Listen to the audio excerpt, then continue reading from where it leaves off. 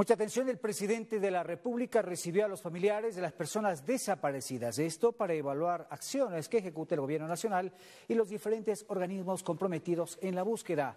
Uwe Lonofre está en el lugar y le preguntamos qué dicen las autoridades respecto a este tema. Buenas tardes, bienvenido.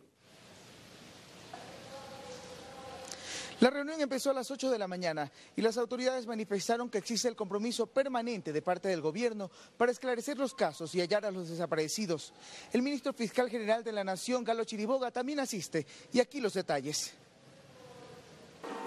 El compromiso en la búsqueda de los desaparecidos en Ecuador se ratifica, lo dice el principal de la Fiscalía General del Estado, Galo Chiriboga.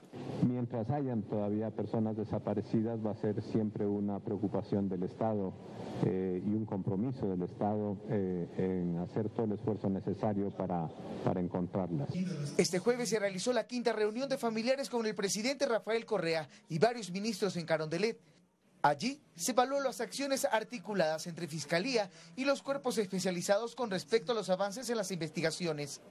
Todo lo que se está haciendo, etcétera, que sepa todos los recursos que existen. Alexandra Córdoba, madre del joven universitario David Romo, criticó la falta de celeridad en resultados sobre el paradero de su hijo desaparecido hace tres años. Lastimosamente son tres años y un mes de la desaparición de mi hijo. Y no solamente de David, sino de cientos de personas como el caso de la señora, casos en los que a pesar del tiempo no se ha resuelto absolutamente nada. Sin embargo, María Lourdes Mejía, madre de la desaparecida María Fernanda Guerrero, reconoció el esfuerzo que realiza el presidente y su equipo para esclarecer los casos.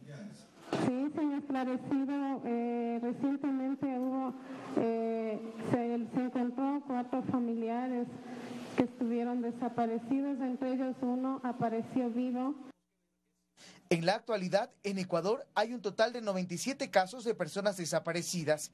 66 de ellos se encuentran en investigación. 31 casos fueron resueltos, de los cuales 26 han sido hallados sin vida y 5 con vida. Que se han logrado iniciar los procesos judiciales, incluso en todos los casos, eh, con pruebas de ADN y, prueba, eh, y con pruebas de codactilares. El trabajo de las autoridades continúa, al igual que la lucha de los familiares por encontrar a los suyos. Hugo Lonofre, Gama Noticias.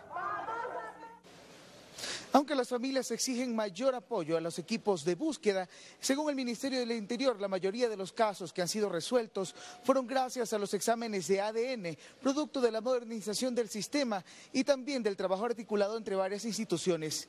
Es la información que tenemos desde Carondelet. Regresamos a estudios con más noticias. Buenas tardes. Buenas tardes, Ubel. Muchísimas gracias por el reporte.